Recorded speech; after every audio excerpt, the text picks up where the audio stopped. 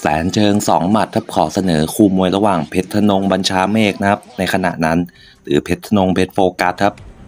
จะพบกับหลิวเหยียนหนิงครับ รอบนี้เป็นรอบรองชนะเลิศครับใครชนะ ไฟนี้ก็ตอนเย็นก็ต่อยต่อครับ เข้ารอบชิงไป เพชรธนงมวยซ้ายครับ ทีบยันไว้ ขยับเบียดเข้ามาเตะไปหมัดซ้ายไปครับหลิว เจอนักชกเจ้าถิ่นครับเตะขาไปเพชรธนง เบียดเข้ามาครับ หมัดปลายหมัดซ้ายทิ่มไปครับเพชรนงเพชรธนงเป็นดีกรีแชมป์เก่าปี 2018-2019 ครับ ชนะจอมทองมาในรอบชิงเข่าไปหมัดซ้ายไปเตะขาไปเพชรนงเตะก้านคอไปครับเรียบร้อยครับเพชรนงเตะก้านคอหลิวลงไปนอนนะครับ ถ้าวันนี้ชนะน็อกยกหนึ่งนะครับ ก็โอกาสดีหน่อยครับ ต่อยต่อก็ได้พักแรงเยอะนะครับสำหรับเพชรนงเพราะวันหนึ่งต้องต่อยสองไฟ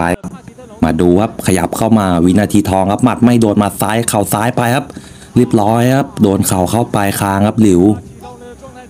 อีกคู่หนึ่งนะครับลูกคู่รองชนะรอบรองนะครับ ก็เป็นตะวันฉายครับ จะชกกับเจียอู่ฉี่ครับแล้วตะวันฉายก็แพ้น็อกแบบช็อกโลกนะครับ ส่วนเพชรนงก็เข้าไปชิงครับ ก็ไฟล์นี้นะครับมีมูลค่า 5.2 ล้านบาทครับ เป็นน็อกเอาท์แห่งปีครับน็อกเอาท์แห่งทัวร์นาเมนต์ของอู้หลินฟงนะครับ แล้วก็เป็นน็อกเอาท์ไวครับแค่ 50วิของยกแรกเท่านั้นเองครับ นี่ครับสุดยอดครับเพชรธนงบัญชาเมฆหรือเพชรธนงเพชรเฟอร์กัสครับเตะขาไปครับเพชรธนงดูภาพช้า ขยับเข้ามาหมัดซ้ายแทงซ้ายครับหมัดซ้ายทิ่มไปเตะขาไปครับ แล้วก็เตะก้านคอครับหลับกลางอากาศนะครับก้านคอนี้ ก็เพชรธนงนะครับ หรือสิทธิลักษ์กอเกียรตินันท์ครับ อดีตนักมวยไทยชื่อดังครับนักมวยไทยเงินแสน เป็นมวยเงินแสนตั้งแต่อายุ14ครับเคยประทะพวกสิงห์ดำเกียรติหมูเก้านะครับ โอโลโนมาแล้วครับ พวกนี้ครับมวยดีๆ ทั้งนั้นนะครับที่เพชรนงผ่านมา แต่ตอนนั้นนะเพชรนงก็มีการฟิตซ้อมไม่ดีเท่าไหร่ครับ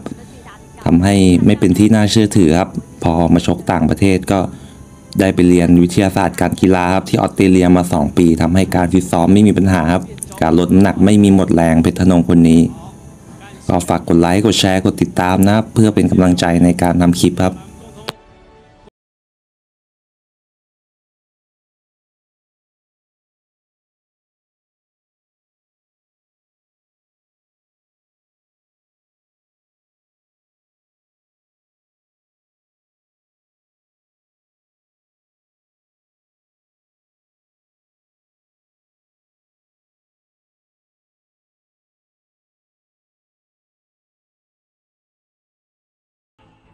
上。